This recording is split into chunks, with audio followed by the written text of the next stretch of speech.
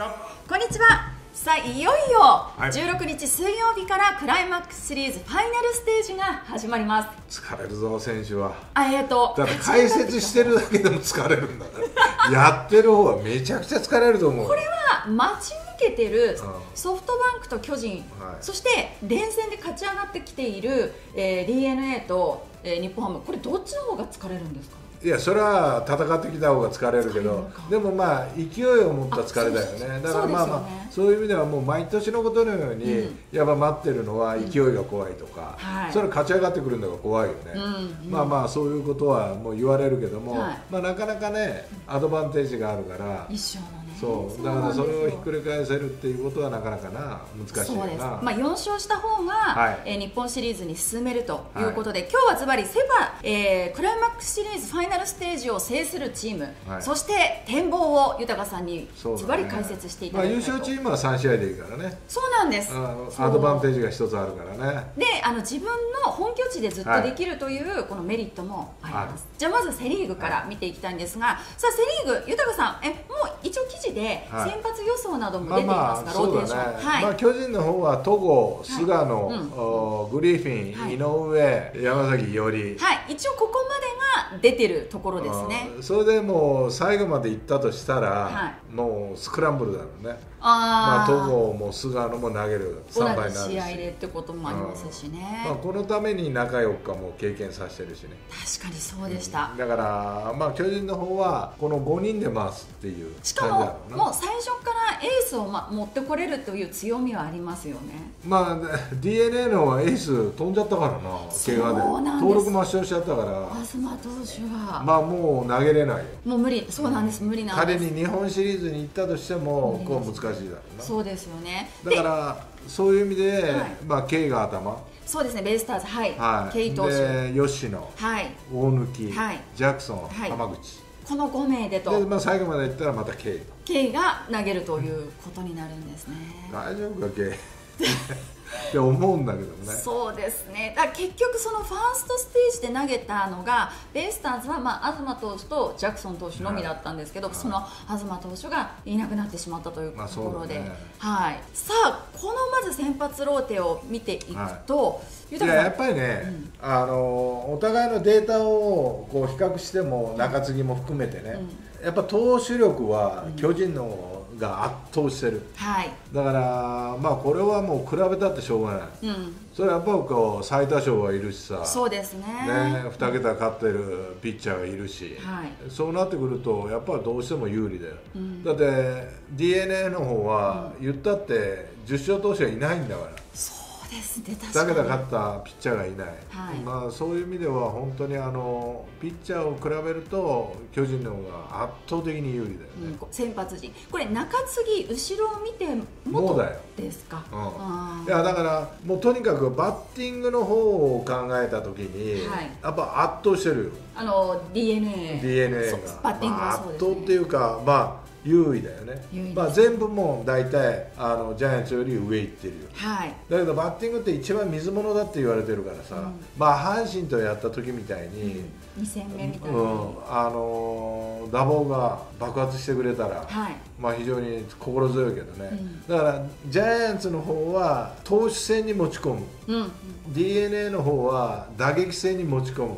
このやっぱお互いの強みが出せるか出せないかっていうところだよね。となると d n a はやっぱりこの先発陣ピッチャーに対して巨人の。それなんか早仕掛けだったりとか何か作戦を練って。まあもちろん作戦はあるよねどういうふうに考えてます？それは教えられない。いやいや教えてください。いやいや違う。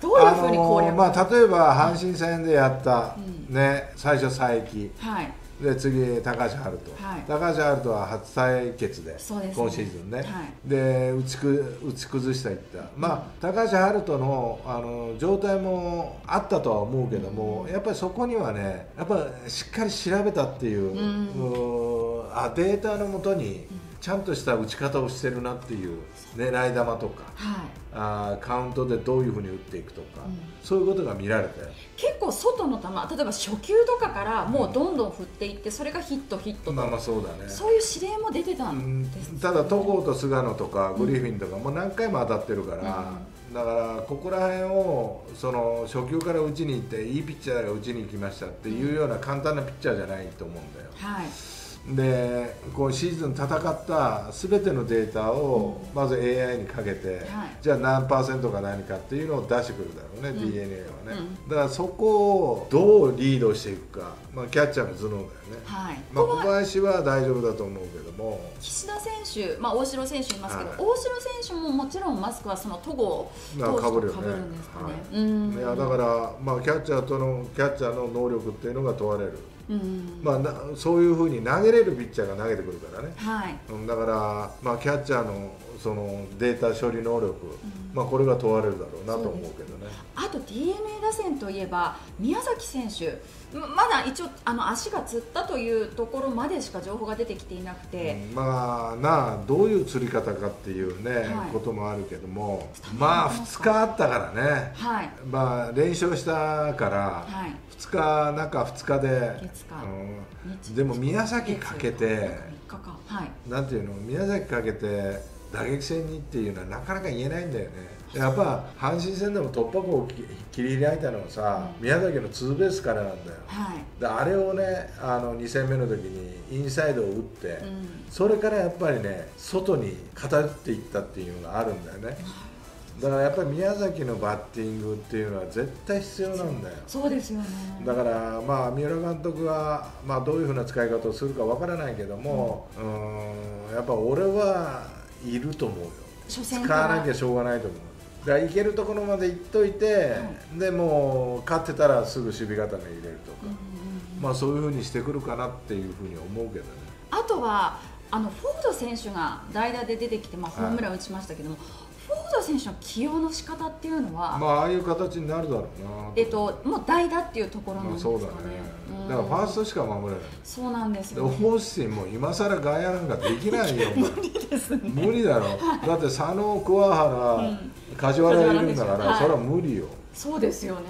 うん、でも本来ならスタメンで使いたいところ、ね、い。やだけどあれはたまたま打ったけども、はい、あれでずっと打ち続けるかというとさ、うん、それはあれがベンチにいるだけ怖いよ、はい、その怖さ恐怖を持って戦わせるっていうのはすごくいいと思う、うん、だって大勢なんか絶対抑えて出てくるわけだから、はいでもランナーを置いて1点差でフォードって出されたら、そりゃ相当嫌だよ。プレッシャーになりますね。やっぱ球も速いのに強いだろうなっていうのもやっぱあるだろうしね、うん、外国人だから、はい、ただ曲げるボールっていうのは弱いんじゃないかっていう、うん、だから変化球で押してくるっていう、うん、そしたらさ、まあ、制球が定まらないとかさ、はい、まあ、そういうことになったら2人置くみたいになっちゃう。うん、まあそういうふうな、うん、だから無理して先発で使う必要はないなと思うけど、ね、もう代打で置いておく。やっぱりね守備がちょっと心もとないよ。で95かなシーズン、はい、で巨人が半分ぐらいなんだよねエラーの数が、はい、まあ半分強だけども、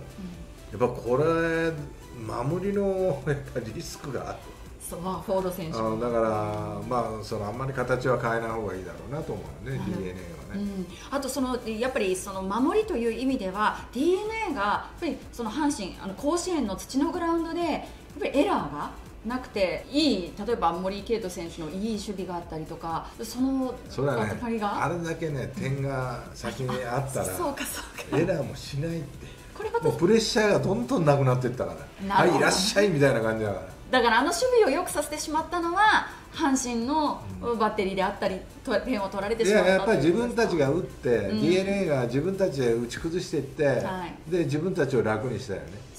うん、だからまあああいう戦いがやっぱ巨人でもできると、うん、まあなかなか巨人の投手陣っていうのは、ね、なかなか難しいかもわからない、うん、まあでも阪神もいいピッチングピッチャー陣がねスタッフが揃ってて、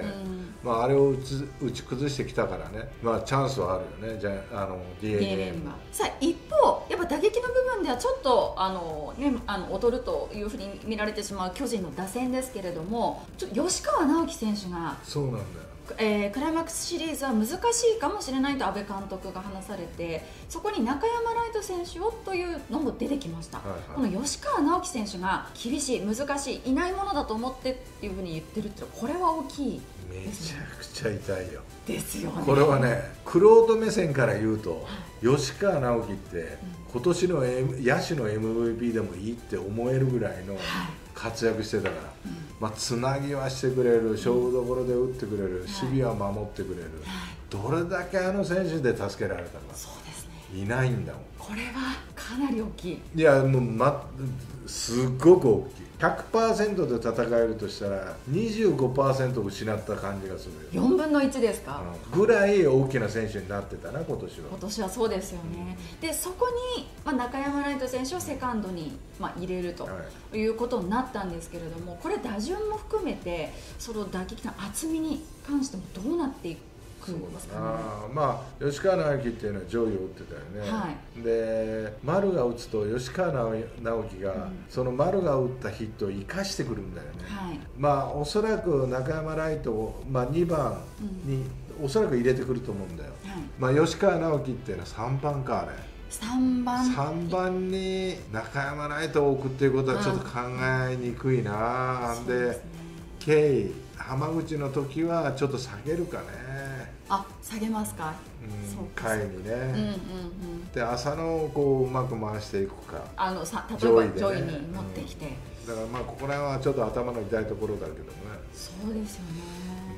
でも中山ライトは今年あのバッティングってすごく成長してるし、あの本当に代打で打ったりだとか、ポイントでしっかりした仕事はできるようにはなってきてるよね、はい、いやだからその中山ライトの状態が良ければいいな。そうなんです。あの後半戦出てきてやっぱりねさよさよならにつながるような一打もありましたしそういうのは期待したいなっていう、ね、ただやっぱ圧倒的にやっぱこう吉川と中山ライトの守備は違うからね、そうです。やっぱり吉川って本当に今年はゴールデングラブ級の、はい。あの守備を誇ってたからね、まあ、まだ発表にはなってないけども誰が取るかわからないけども、俺はそういうふうに見てるし、でも守備はそこまで中山ライトっていうのはうまくないしね、はい、だからまあここら辺の影響がどう出てくるかだよね。ですよね。あとはずっとあの離脱してたヘルナンデス選手が、まあ、ちょっとあの復帰というか戻ってきて、クライマックスで出られるのかそれともやっぱりベンチにいてからの何かで出てくるのかそれとも日本シリーズからなのかちょっとそこがまだねベールを脱いでないのでわからないんですけれども、まあ、状態だな、うん、練習の時の。これでいけるっていうふうに判断したら、まあ、使うだろうし、はい、いやもうちょっとかかるかなって思えば、うん、もうベンチに置くだろうし、うん、それはやっぱ分かんないなまあそこは分からない。そこは無理する必要はない。いやだからそれはもうゲーム展開で無理してしなきゃいけないケースも出てくるし、うん、だからもう本当に d n a が打ちまくったら、はい、それはもう止められなくなるしな。まあそうなんですよね。でいいピッチャーをどんどんつぎ込んでいくっていうことも、うん。これはもう難しくなるしね、うん、だから、まあ、ここら辺の判断っていうのは、まあ、ジャイアンツの場合は最初、戦いとすれば、まあ、バントが多いかなっていうような感じがするよね。あそうなんですね、うん、やっぱ戸郷、菅野、グリフィン、はい、まあ、こうなってくると23点の勝負っていうふうに考えるだろうから、はい、もうこれ以上戸郷が打たれるこれ以上菅野が点をやるってなってくると、もうお手上げになってくるから、はい、だから、まあ、バントで1点1点を積み重ねていく野球を、まあ、ジャイアンツは最初はしてくるかなっていう。もうあの初回の段階からっていう、うん、一方 d n a はやっぱりどんなピッチャーが来てもバントやってたら、うんバントやっててももうどうしようもないんだよ。相手のピッチャーがいいし、はい、だから最初からもう大量点を取りに行く。もう野球しかできないんでね多分。だから本当対照的な。いやだからもう居直ってもうとにかくつなげと、はい、ね。つないでつないでつなぎまぐれと、うん、もうそれしかないと思う。ワンアウトをね簡単にやるような野球は、はい、それはジャイアンツの投手陣を楽にするだけだからそうかいやだからここら辺はやっぱ投手あの K とか吉野とか大貫とか、うん、やっぱり45点は絶対いるって考えて戦うだろうから、はい、そうなってくると相手がどうであれ、うん、点を取る野球をしなきゃいけない、はい、その時にはあんまりバントっていうのは、うん、ノーアウト一二塁とか、はい、そういうことしか多分ないと思うよ。ノーアウト一塁ではしないと。しない。それかそれだったらもう動かせる選手がいるんだったら動かしていくという。そういうことなんです、ね、もうそれしかないと思うけどなで東がいないからさ。そこですよ、ね、東は一生してくれるという計算は立つんだよね、はい、でもその立つピッチャーがやっぱこう今いないということを考えるとそうなんですよ。やっぱ打っていくしかないかなというねそうですね。だから本当に巨人と d n a はちょっと対照的な攻撃の仕方でそれぞれ勝ちをもぎ取らなきゃいけないっていう、まあそうだね、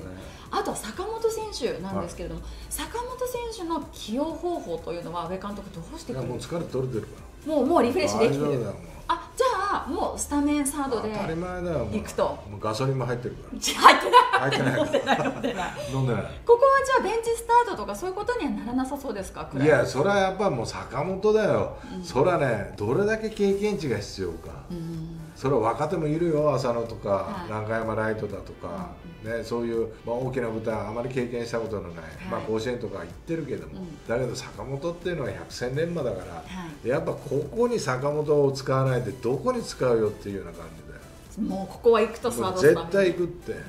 あとは大城選手がファーストで出るスタメンでってことはありますか？例えば吉川直樹選手が減った分まあねこれはね坂本の状態次第だな。今どういう状態？だから最初は坂本でいくよ、はい、だけど2試合3試合ってノーヒットってなってくるとさ、うん、やっぱある程度もうその点を取っていかなきゃいけないのに、うん、やっぱこうそこが機能しないと、はい、やっぱ誰かが代わりをしてくれないとね。そうなった時に初めて大城ファースト、うん、岡本サードっていうのが出てくるよ、うん。そそれ以外はないと思う。それ以外はもうサードはスタメンで坂本選手を使ってその方がやっぱ守備も安定するしね。はい、うん、だから、まあ、そういうふうな使い方になるんじゃないかさあ豊さんズバリ、はい、まあ、巨人一勝のアドバンテージありますが、はい、勝ち抜くのは日本シリーズまあジャイアンツだないやこれはねやっぱ東を変えたっていうのが痛いよ。東投手がいればこれ分からないぞっていうのはなってたかもしれないけれども。いや可能性はあるよね、あのやっぱバッティングが状態いいし、はい、で雄大がキャッチャーとしていなかったのをやっぱ戸柱っていうのがね、はい、いい味出してるし、だからまあそこら辺は穴を埋めてくれるかなっていうのはある程度の目安は立ったけど、やっぱエースがいなくなったっていうのはきついわ。そうですねでもそこを言い訳にしてほしくないな。あ一丸ここでまとまれみたいな、はい、そんな感じだな。そうですね。d n a はねだから山本雄大投手ああの星も書いてる。そして東投手までも書いてしまったっていう、うんそこがやっぱりちょっと。これはね入りが大事でやっぱりねある程度戸郷に対して打っていければ、はい、で勝つとなると、はい、それはやっぱりジャイアンツは焦るだろうな。あ逆に。K が高騰してるっていうことだからそうなったら。そうかそれに乗って吉野投手とか大貫投手も続いていける可能性が。それは簡単ではないよ。ああそうか。簡単ではないけど、やっぱ先手を取って、えー、アドバンテージがなくなったって言えばさ、うん、それは焦ると思うということは d n a はやっぱ K 投手で初戦は何が何でも取らないと。K がイライラしてなかったらいいけどなあのイライラは野手もイライラしてくるから。もうチームに蔓延しちゃう、ね、イライラすんなって言いたくなるよ同僚だったら、うんうんうん。ね、イライラして勝てるんだったらイライラしろって。イライラしたら絶対ねいいことなんか起きないからそうですよ、だからイライラすんなって。逆にじゃあ巨人のバッター陣はケイ投手をイライラさせるようにすればいいんですね。いいよ、うん、危なくなるけどな。どこに投げてくるか 確かにそうですね。いやちょっと見応えありますけれども、はい、はい、だからまあ戸郷がね、うん、やっぱりエースを持ってくるっていうのは、うん、まあそういうところにあるよね。そうですね。だからアドバンテージがあって東がいない、うん、で戸郷が勝った、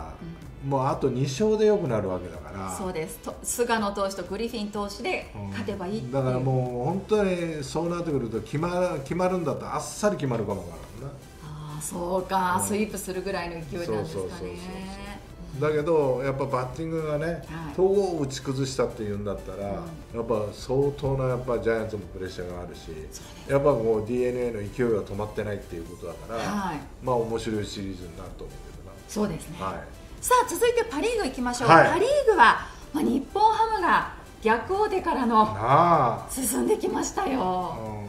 まあ先発から言うか。そうですね、ね、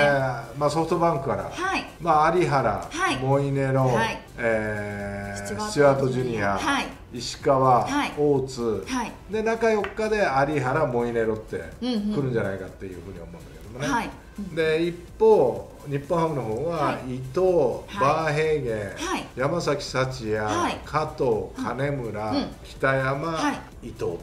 ここで戻ってくると。はい、はい、こういった予想になっております。まああのー、ソフトバンクはやっぱ王者だし、やっぱこう待ってるし、うん、まあ、そういう意味ではもう王道のローテーションが引いてきた。はい、まあ、日本ハムは新庄監督がもう日本一しか考えてないという、うんうん、だから伊藤大海をファーストステージから外すと、もう完全に外したよね。伊藤大海に2択で選ばしたらしいよ。へえそうなんですか？日本一なのか、うん、15勝なのか。そしたら日本一って。それでこの前の楽天戦投げたなるほど、うん、いやそれでね、あのー、やっぱこう計画としたら伊藤大海をソフトバンクの頭に持っていくと、はい、でこれでアドバンテージを消したいと、うん、で伊藤大海がやっぱソフトバンクに対しての、うん、まあ、抜群の相性があると、はい、でこれ消せたらなんとかなると、日本一のシナリオにね、はい。だからもう初戦だよ。もうここはそうもうここはもう絶対初戦。うんうん、伊藤大海が勝つか負けるか。それで決まるんですね。だからもう選手もそう思って戦うからでここまで計画的に来てる。佐々木朗希、えー、加藤ファーストステージ、うん、まあ、投げ合った、うん、もうね真ん中に聞いたら負けた初戦、はい、いや負けるのも想定内のうちだと、うん、でも1戦目負けて2戦目が佐々木朗希よりは全然良かったって言うんだよね。そうか、うん、まだいいです。なるほどなそれは小島が小島もねものすごいいい投手だけど、はい、まだ佐々木よりはまだいいですと。いうようなことで計画的に来てるんだよはい、で2勝1敗、うん、王手かけられたけど最初の試合で、はい、でも18勝6敗って、うん、計算通りだね。次も勝てるという、はい、もうシーズン通りの計算になってる。伊藤大海が勝ったら本当に分かんなくなる。この試合カードは。そうなんですね。でね五分なんだよ。あの対戦成績もね、はい、それとやっぱり比較しても、うん、そんなに差がないんだよねそれはえっと先発でなくバッターのバッターもそうだし、うん、ピッチャーもそんなに遜色ない。だその時の勢いもあるだしあるだろうし調子もある、うん、もうねやっぱね戦いを見ててね下から上がってきたものっていうのは日本ハムは苦労したよロッテに、うん、ね、ロッテも強かった、うん、本当にね素敵な試合をやってたよ。いやだけどそれは3位という捨て身で戦えるという。でもこう日本ハムの方は受けて立たなきゃいけないという、はい、2位だから。でも今度は捨て身で戦えるという。もういきそうですよね。もう行くしかないんだから。でシーズンあれだけのゲーム差離れて圧倒的な強さで優勝してるから、もうこっちはもうそうですね。捨て身で。いやもう優勝したチームって何のために優勝したかっていうのは日本シリーズで勝つためでしょ、うん、でここでやっぱ下のチームにアドバンテージがあるにもかかわらず、負けたなんていうのは絶対許されないっていうプレッシャーがあるわけ、はい。もう日本ハムは行くだけ、うん、生かしたらとことん日本ハム行くからね。あの勢い止まらない、ね、いやそれはやっぱね新庄監督が植え付けてるよそういうことを。いやだから伊藤大海が勝ったら本当分かんないでも有原がソフトバンクが、ね、勝ったとしたら、これはねおそらく楽勝になると思う。そうなのか。それはやっぱりこのピッチャーのそれぞれ当たる、こう見てもということになってくるんですかね。そうか。これただそのソフトバンクも、はい。うん今シーズン、まあ、和田投手とか東浜投手が途中で離脱して、結局和田投手が、えー、怪我ということで出られなくなってしまってとか足りてるようで足りてないっていうことはないんですか？先発陣まあまあそうかもわからないけどね、うん、あのやりくり。まあまあ他人がねまたねこれを支えていくような。まあそうなんですね。ただ、うん、その近藤選手とか柳田選手っていうのはいわゆる病み上がりというふうにまあ柳田選手後半出ましたけどこの辺りってどうなんですか？調子？はい調子とか。わかんねえよいやわかんないけどやっぱ名前が嫌だよね。嫌です。嫌だよな。いやだからそれはやっぱり嫌だと思うただそのね近藤選手も柳田選手ももうじゃあシーズンバリバリ来ててバリバリのそのままでガンといけるのかってなるとそこっとまあ蓋開けてみないと分かんないのか。俺が一番やっぱりねマークしたいのはシュートだよ、ああまあそうか。塁入れて走って、うん、だからここがかき回されると嫌だな。それをじゃあ先発のピッチャーたちがどれだけ、まあ、今ママとしても走られるか、ね、柳田とか、近藤ってもう打つのは想定内なんだよ、うん、もうそれはしょうがないよ、はい、でもできるだけ3割打たれるところを2割5分にするとか、はい、もうそういう作業しかないんだよ、うん、もう打たれることはある程度前提でいかないとさ、はい、やっぱ対処ができなくなるんだようん、だからまあもう山川のホームランも気をつけなきゃいけないし、はい、今宮のつないでくるのか、うん、仕掛けて仕掛けをやっぱこうある程度読みながら抑えていくしかないし、はい、だけどシュートの足って抑えられないんだよねなかなか。ね、ということはもうルーに出さないしかないんですよね。出さないしかないんだよ。どうすればいいんですか？もう膝にもう先頭バッターが来た時当てる ダメダメダメ。荒れる。当てるんじゃなくて荒れます試合が。そうだないやそのぐらいの気持ちだよ、気持ちですよねもちろんもちろん。そんなね、うんそんなねあの卑怯なことして勝とうとなんか思ってないもちろんもちろんもちろん。頭の中では、もう膝の中でもう当てて、もうなんか歩くのもやっとみたいな、そんな感じで出さないみたいな。そうもう気持ちだけでもそうですね。気持ちだけでもそうなんだけどやっぱシュートっていうのが一つのポイントを握ってるかなと思うよね、この足が。あとはその山川選手の一発。まあねワンサイドになるケースもあると思うけども、大体こういう試合って、あの接戦になると思うんだよね、はい、まあ、その時にやっぱシュートの足っていうのがすごく気になるな、あやだまあ、こっちは磯端っていうのを持ってるけど、まあ、こっちって言ったら俺のチームじゃない。そうですね。どうし 確かに。あの日本ハムはね磯端っていうのは、まあ、ファーストステージ出れなかったんだよね、はい、これはやっぱりさ1点を取る時が欲しいんだようんうん、でも2点空いてて先頭バッターが出たからって使えないんだよね。そうですね。切り札としてはいけないいやだからあのやっぱこう一つ足っていうのがポイントを握る戦いになってくるかなっていうふうには思うけど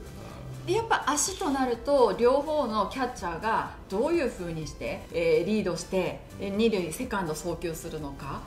甲斐選手。やっぱりこ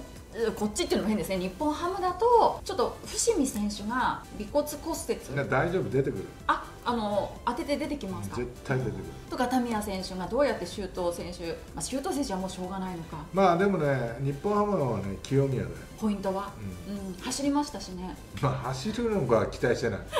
もうホームラン打つ頃だよ。そこです。ね、うん、ああそうか。あとレイエス選手はどうですか？このソフトバンク戦。ベタにマークされた、うんうん、ちょっとスライダーを全部外のスライダーに手が出てたっていうのがちょっと気になるけどね、はい、だから石川とか、まあ、有原もスライダーあるけども、うん。まあ、有原というよりも石川の外のスライダーだとか、